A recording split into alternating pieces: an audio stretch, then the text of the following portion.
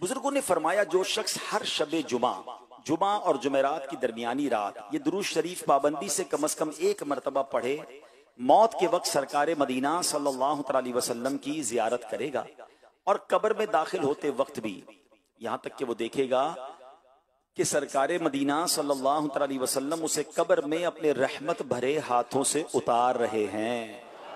मिलकर पढ़ लें, अल्लाहुम्मा सल्ले वसल्लिम वबारिक अला सय्यिदिना मुहम्मदिन अन्नबी अल उम्मी अल हबीबी अल आली अल कदरी अल अजीमी अल जाह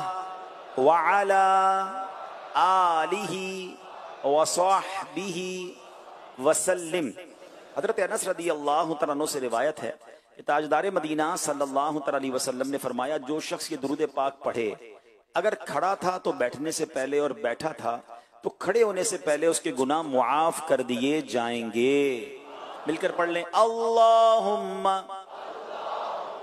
सल्ले अला सय्यिदिना व मौलाना मुहम्मदिन व अला आलिही वसल्लिम। जो ये दुरुद पाक पढ़ता है, उस पर रहमत के सत्तर दरवाजे खोल दिए जाते हैं। मिलकर पढ़ लें, सल्लल्लाहु अला मुहम्मद।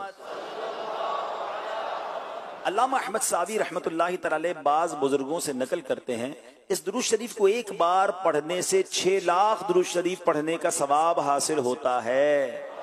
मिलकर पढ़ ले, अल्लाहुम्मा सल्ले अला सय्यिदिना मुहम्मदिन अददा माफ़ी इल्मिल्लाहि सलातन दाइमतन बिदवामी मुल्किल्लाह। एक दिन एक शख्स आया तो नबी पाक सलाम ने उसे अपने और सिद्दीक अकबर रदी अल्लाह तनों के दरमियान बिठा लिया। उससे साहबा कराम को हैरत हुई कि ये कौन बड़े मर्तबे वाला शख्स है। जब वो चला गया तो नबी पाक सलाम ने फरमाया, ये जब मुझ पर दरूद पाक पढ़ता है तो यूँ पढ़ता है। आइए मिलकर पढ़ लेते हैं। अल्लाहुम्मा सल्ले अला मुहम्मदिन कमा वतरदा लह शाफा उमम सल्लल्लाहु अलैहि वसल्लम का अजमत वाला फरमान है। जो शख्स यू दरुद पाक पढ़े उसके लिए मेरी शफात वाजिब हो जाती है।